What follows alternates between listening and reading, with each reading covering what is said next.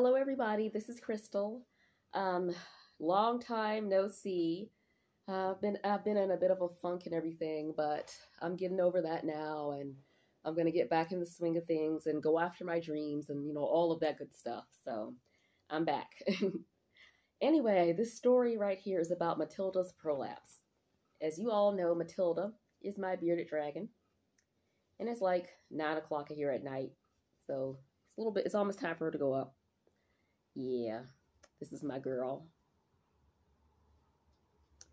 Anyway, she started having some issues in June of this year. She had a prolapse, and that's basically where their insides start coming out through their vent. Basically, her issue was that she was she started laying a lot of eggs in June. So it was like every up day, every other day, I would wake up to eggs. So she kept laying these eggs.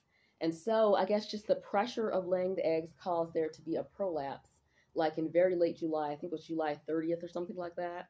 So basically, I'm going to insert some pictures either on the screen or in the description area below. But basically, the prolapse is when their insides come out through the vent. See, this is their vent area. And basically, the prolapse is when the tissues come out through here. And basically, it was like a pink lump protruding out of here.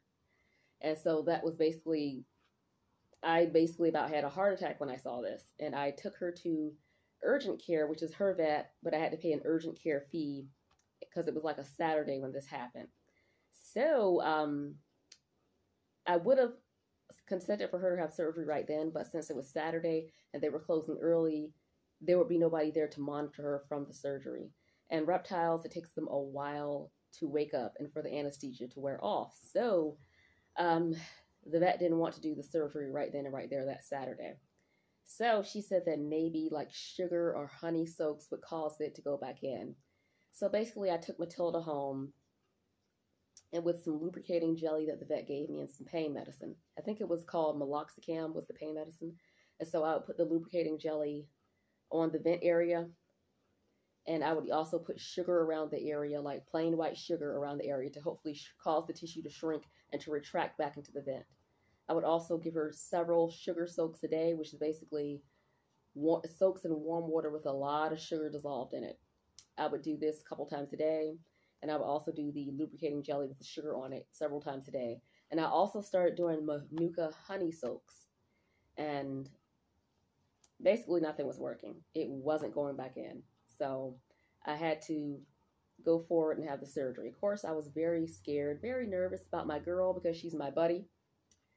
But um, either way, on August 3rd, she had surgery.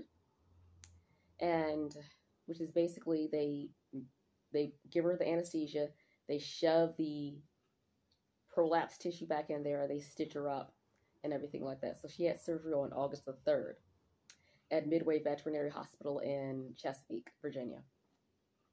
Dr. Miller, she did the surgery and everything went on well. Everything went off without a problem and everything like that. She went home with antibiotics, pain meds, all that good stuff. So a week or two later, she had to have her stitches removed. Um, but this time she wasn't under anesthesia. She was squirming so much that the doctor had to just leave some of the stitches in there and they would fall out over time. So Dr. Moore, he was the doctor who did the follow up and took the stitches out. Dr. Miller, she was the one who actually did this procedure. They're both excellent doctors at Midway Veterinary Hospital in Chesapeake. So if you have any issues and you're in the Hampton Roads area with and you uh, have some exotic pets, I would highly recommend Midway Veterinary Hospital. Friendship Hospital is great too. Um, they do have one vet that takes care of exotics at Friendship Vet, but she's not always there, which is why she wasn't able to help me with this issue with Matilda at the time. So, um, since then, Matilda has been doing well since her surgery. Uh, since the surgery, she's laid probably maybe about one or two more eggs, and then it just kind of tapered off. So hopefully she's done laying eggs for a while. Maybe she'll never lay eggs again. I don't know. Maybe it'll be an every year type of thing with Matilda. I'm not really sure how that works. She's three years old, and this was the first time that she had had, you know, she had had eggs. So that's pretty much about it. Um, I'm going to show you her again. This is my baby girl. She's still quite active, even though it's kind of late at night for her. I know. I love her so much. I was really, really, really worried about the surgery. But if you have any questions, please ask. Um, I will add some, put some information in the description box below about the sugar soaks and the honey soaks and all that. So maybe if your dragon has an issue with prolapse, you can do the sugar or the honey soaks, and hopefully the tissue will go back in so that you can easily just slide it back in there and they won't need surgery. So, um, so if your pet is having issues with prolapse, prolapses, I will put the information in the description box below about the sugar and the honey soaks.